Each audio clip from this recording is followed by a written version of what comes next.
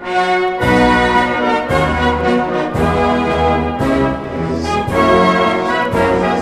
um longo processo de conferências, a décima Conferência Nacional do PCdoB está chegando ao fim. Aqui comigo, Renato Rabelo, presidente nacional do PCdoB, que ao final dessa conferência passará o bastão para Luciana Santos, deputada federal pelo PC de Olinda, uma guerrida mulher que vai liderar os comunistas daqui para frente. Renato, como é que você avalia o processo de conferência e o que é que significa conduzir a presidência do PCdoB Luciana Santos? Olha, tem um grande significado porque as sucessões no Partido Comunista, Partido Comunista do Brasil, ele tem um significado histórico, porque a nossa missão é histórica. O nosso objetivo pode varar um tempo ainda grande, né? porque é a conquista do socialismo nas terras brasileiras. Né? Isso é a superação do capitalismo. Olha, então nós temos que ter um partido que dê essa continuidade histórica, mesmo que leve mais ou menos tempo. Daí a importância de novas gerações ir ocupando seu lugar, assumindo sua responsabilidade para que a gente possa cumprir essa missão histórica. Daí a importância que tem a sucessão para o partido e o papel que a Luciana joga a partir daqui para frente, né? Ou seja, nós consideramos que a quarta geração veio até agora. É uma quarta geração, que o partido tem mais de 90 anos. Ela vai dar continuidade a essa quarta geração, portanto, abrir, portanto, novos caminhos. Acredito que o partido vai conseguir novas vitórias. É assim que a gente pode alcançar essa grande missão histórica do Partido Comunista do Brasil, que é alcançar o socialismo no Brasil. Renato, você fala da, dos eixos que sustentam o partido, né? a frente de massa, a frente institucional e a frente de luta de ideias. Né? O que, é que esses três eixos significam para o PCdoB e, e, e eles representam, para além do, do, do, desse significado, um diferencial frente a outros partidos? Olha, essa eu acho que é uma conclusão muito importante do PCdoB. Né? Porque o PCdoB tem o seu programa, portanto, sua linha política, né? e é importante que o PCdoB possa atuar em frentes fundamentais no sentido de acumular forças, tendo como objetivo a construção de uma hegemonia na sociedade brasileira. Todo partido persegue isso. O PCdoB não é diferente, pelo contrário, a conquista da hegemonia é muito importante para que a gente possa alcançar os objetivos programáticos maiores, a construção do socialismo, como dizia. Né? Então, o partido foi vendo, foi se dando conta de que nessa acumulação de forças, três frentes de trabalho são fundamentais, que é exatamente o trabalho institucional, o trabalho nas eleições, a participação em governos democráticos como também a participação e a intervenção nossa no movimento de massas. Porque as massas, queira ou não, é exatamente o sujeito construtor da história. As massas têm um papel muito importante e para o PCdoB, a participação das massas é que vai decidir. E a outra frente de trabalho que é importante é exatamente a, a luta de ideias, a luta ideológica, né? a luta teórica, como já diziam os clássicos, ou seja, essas três frentes articuladas, exatamente com uma sinergia entre elas, é que a gente reúne as condições de acumular força, crescer e ter um papel hegemônico no processo político. Essa é a compreensão do PCdoB. Eu acho que isso é uma espécie de uma grande descoberta do partido e cada vez mais o partido assimila isso.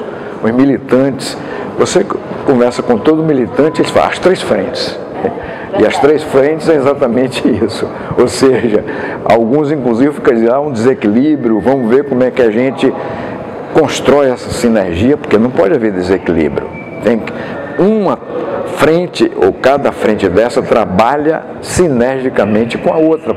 Assim é que dá o resultado. Você não pode dar prioridade só à questão institucional, seria um erro. Ou então tudo exclusivamente para um de massa. Então você perde essa possibilidade também de você agir no parlamento, que é importante, e a luta de ideias, porque senão fica um vazio. Você tem que enfrentar o debate de ideias para que a gente possa convencer, justificar e até avançar nas nossas posições na luta teórica. Ou seja, sem essa luta de ideias, a gente não chega nunca às posições justas. E essa luta de ideias é muito importante para a gente fundamentar as posições que são mais importantes para que a gente justifique o nosso caminho, os nossos objetivos, etc. Você falou aí, Renato, que o partido tem 93 anos, né? 30 anos de legalidade agora. Né? E uma participação muito importante, né, crucial, nos governos Lula e Dilma. Como é que você avalia esse processo mais recente do PCdoB, agora também com a eleição de Flávio Dino no Maranhão, com bons resultados em diversas prefeituras do país, em, em governos estaduais, contribuindo para desenvolver o país e seus estados, né? Como é, como é que você avalia o papel do PCdoB transferindo para a sociedade o que está, de alguma maneira, no nosso programa socialista, né? que é a construção de uma sociedade muito mais humana, muito mais avançada? A, importância da gente tornar realidade o programa, a linha do partido, né? Isso é fundamental, porque o programa, ou a linha do partido, ou a política, por mais justa que seja, ela não pode ficar engavetada, ela tem que exatamente ser instrumento de ação mesmo. E é aquilo que nós temos dito, né? Sem um partido organizado e um partido do caráter do PCdoB, que é um partido que luta pela unidade, é um partido que nas horas de crise ele se junta, ele se une, nos grandes desafios ele, é, ele é mais ainda desafiado e os comunistas aí é que aumenta a sua convicção. Isso é exatamente característica do Partido Comunista. Ora, é importante, portanto, que esse partido jogue o seu papel, se organize para isso. A organização do partido não é abstrata, não é um princípio geral. É uma organização exatamente já adaptada para que a gente possa realmente levar de forma unitária e com força a política traçada. É assim exatamente que nós vemos. E o partido foi crescendo também, o Partido Comunista no Brasil. Hoje ele tem uma estrutura de representação grande, né? Ou seja, nós ocupamos hoje um ministério importante, um ministério que tem um papel muito grande exatamente no caminho que o programa traça, que é a construção de um projeto nacional de desenvolvimento, que é a ciência, tecnologia e inovação. E, aliás, a presidenta reafirmou isso aqui nesse ato de abertura da conferência, quando ela disse, né, a primeira vez falando para mim, disse, olha, o ministério que é a cara do PCdoB, isso foi textual, é o Ministério de Ciência, Tecnologia e Inovação. Porque os comunistas é isso. Os comunistas são mulheres e homens de ciência. São exatamente pessoas dedicadas a ver o mundo moderno. Porque o socialismo é o que tem de mais moderno.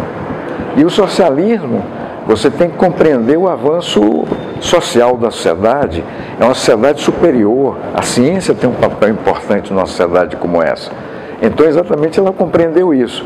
Então, nós ocupamos um ministério que é muito importante para o próprio projeto de desenvolvimento nacional, faz parte do nosso caminho, do nosso programa, etc.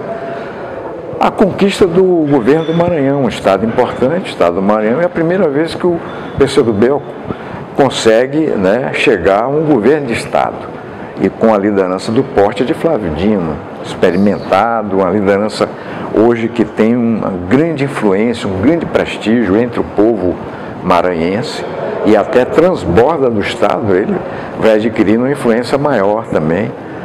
Então, você veja que são, digamos assim, pontas importantes de atuação do PCdoB. Tem uma bancada que é pequena, mas uma bancada muito respeitada, muito combativa. Eu mesmo é, ressaltei isso, é uma bancada que vem exatamente tendo um papel assim muito significativo, muito importante, que antes o partido participava de blocos no parlamento, quase que o partido não aparecia muito. Agora não, é o partido mesmo. E nas horas mais candentes, nas horas mais importantes, como foi agora, mais recentemente na reforma política, você vê o partido participar, a liderança do partido participar, o partido dá sua opinião, entra naqueles momentos que são decisivos. Então, é uma bancada preparada para isso. Ou seja, a bancada do PCdoB são quadros experimentados, são quadros com grandes compromissos com os ideais do, do partido. Né? Então, esse é um outro lado muito importante. Além disso, é importante nós salientarmos que hoje o PCdoB tem múltiplas lideranças em vários setores de atividade, não só da atividade política, né? na, na academia, né? nas universidades nós temos lideranças também importantes, no âmbito mesmo social, em geral na sociedade, o partido tem sempre pessoas que influem, que têm o seu papel que é bastante considerado. Portanto, além de ter essas lideranças políticas, o partido também tem liderança em várias atividades sociais. E tem um destaque, né? Que o partido tem uma característica que vai sendo cada vez mais aprimorada e fortalecida, que é essa característica de ser um partido né, que se dedica à causa dos trabalhadores, mas é um partido de mulheres e de jovens. E quando eu digo que é de mulheres, é porque tem lideranças mulheres muito respeitadas. A presidenta falou isso aqui também, na abertura da ou seja, mostrando, portanto, que são lideranças com muita influência, mulheres, inclusive, com grande capacidade política. Né? Então, isso é uma marca do PCdoB. Como tem também uma juventude que já vem há muito tempo, o partido tem uma influência na União da Juventude Socialista, e essa União da Juventude Socialista já tem mais de 30 anos, atua num plano político muito importante no país e são jovens jovens que desde cedo já têm uma compreensão política e lutam também pelo socialismo. Então você veja que é esse conjunto, essa representação toda, além do movimento social, porque você veja, o partido também foi quem se empenhou muito na criação de uma nova central sindical classista. E essa central sindical classista hoje, a CTB, é exatamente a terceira central sindical hoje do país em pouco tempo de vida. Um papel também na América Latina. É, né? um papel crescente, né? que é importante. Então esse é um outro destaque que a gente precisa ter. E essa atuação toda que o partido tem em todo o movimento social. Tem uma importância grande a atuação no movimento das mulheres, no movimento antirracial, né? no movimento LGBT também, e hoje o partido também, uma característica dele, que ele é um partido consequente na luta contra toda forma de discriminação, toda forma de preconceito, de intolerância. O partido se caracteriza também por isso. Onde tem intolerância, o partido exatamente não está aí e combate. Né? Por isso que o nosso partido ele vai ocupando esse lugar importante na cena política brasileira né, com essa representação política crescente, com esse papel das nossas lideranças, com essas características que eu aqui procurei definir, e é assim que a gente vai realmente exercer a influência para que a gente possa cumprir os nossos objetivos, para que a gente possa interferir na cena política. Não adianta a gente ficar pregando princípios, por mais que sejam justos, até dizendo que a nossa política é a melhor, mas não interfere, a gente não consegue exatamente ter um papel importante na transformação política e social. É aquela, velha máxima, né? associar a, a, teoria à prática. Né? Pois é, e é só dessa maneira, você construindo lideranças, quadros capazes, estrutura de representação importante, e a gente consegue, a partir daí, se vincular ao povo. Porque o maior vínculo com o povo é a gente ter lideranças importantes do povo que são do partido, que compreendem o papel do partido, que se transformam em comunistas. É assim que a gente faz a maior ligação com o povo. É dessa maneira. Renato, você teve uma vida abnegada, a luta na construção de uma sociedade diferente, humana, avançada, na luta na construção do socialismo. Né? é, atravessou momentos difíceis da, da política e da democracia no Brasil, né? tendo até que sair do país em algum momento por conta da repressão né, do, do, regime militar aqui no, no Brasil. Hoje você é, vive um momento de uma democracia ainda jovem que está aprendendo a ser uma democracia. Né? E os comunistas estão participando disso aí. Você citou aí a juventude e as mulheres que nos últimos 10 anos ganharam né? no protagonismo em função de políticas afirmativas e de um governo muito mais presente de atenção ao que esses dois setores aí viviam antes. Uma mensagem né, de uma pessoa que viveu tanto e viu tanta coisa que você deixa para essa juventude, de mulheres e homens, né, que vão ter que dar continuidade a uma luta que você iniciou lá atrás e que outros iniciaram antes de você. É, isso é importante, é como eu disse. Assim também é toda militância. Ou seja, a militância e a militância em ondas, em épocas sucessivas, é que, dá, é que exatamente dá continuidade ao partido. Não tem outra maneira. A militância pode mudar até a forma dela, o jeito dela, porque cada geração vai exatamente absorvendo né, formas próprias, mas o objetivo, a missão é a mesma. Né? Ou seja, essa convicção de que a gente precisa fazer com que a roda da história siga adiante. Ou seja, é necessário que haja um avanço civilizacional crescente. E a única forma desse avanço civilizacional até aqui, aonde nós chegamos, é exatamente um, uma formação política, econômica, social mais avançada e superior ao capitalismo. É assim que a história tem que ir para diante, que é o socialismo. Nós tivemos uma primeira experiência no século passado, mas é uma primeira tentativa, e aliás, essas formações econômicas, sociais, políticas na cena da história demora para que ela vingue. Né? Para que o capitalismo vingasse ao período feudal, foi exatamente muito tempo, foi coisa de mais de 200 anos. Né? Não foi tão simples assim. E assim é o processo histórico. Mas vai para frente, está caminhando para frente. Né? A gente tem que considerar isso. Portanto, o trabalho nosso é ter essa perspectiva, essa esperança, essa confiança, porque isso é objetivo, não é só a vontade nossa. A história caminha nesse sentido. Porque se não fosse assim, nós estaríamos já ainda no período da pedra lascada. Né? A compreensão, portanto, é que a história está avançando. Pode levar mais tempo, menos tempo, mas nós vamos avançar cada vez mais. E exatamente a convicção é essa. Eu sempre tenho dito, olha, essa é a nossa perspectiva. Essa, esse é o nosso grande ideal e a gente mantendo isso, passando de geração a geração, nós vamos chegar lá. Daí o papel importante que tem a militância, a militância que vai caminhando, caminhando para que a gente alcance. Né? É o trabalho dos quadros e o trabalho da militância, esse trabalho importante, maravilhoso, rico. Né? A juventude também ela é muito criativa, a militância em geral é muito criativa porque você tem militante de tudo quanto é lugar, de todos os setores, de, todos, de todas as atividades, cada um da sua contribuição. Isso é que é bonito, né? maravilhoso por aí. Junta tudo isso e dá um resultado belíssimo. Por isso que a juventude tem esse papel, as mulheres têm esse papel, a nossa militância tem esse papel de chegar lá. Essa é a construção que nós exatamente estamos empenhados em levar adiante. Isso é Renato Rabelo, né? Não numa entrevista aqui na Conferência Nacional do PCdoB, demonstrando aí toda a energia, otimismo e crença de que com luta né, e persistência, Renata, a gente vai construir uma sociedade ainda mais avançada.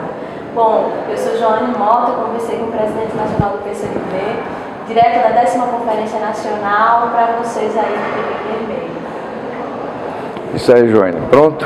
Pronto, Entrega um café pro Renato aí. Não sei se Oi. está quente. Obrigado. Pois é, Renato. Na verdade, essa é a última entrevista, sal- salvo engano, que o senhor dá como, como presidente. É, É ao vermelho, né? Na verdade, Exatamente isso. Ou seja, a partir de hoje à tarde em diante, já não sou mais presidente, né? Formalmente eu não. agora a gente tem que criar um. Vou bolar um, espaço para poder a gente agora criar um programa para você fazer comentários de- naquele mesmo sentido. Mas aí eu vou apresentar uma proposta depois a gente vai Claro, a gente-. É evidente que eu, eu continuo na luta, na militância e tal. Depois dessa declaração final, quem duvida?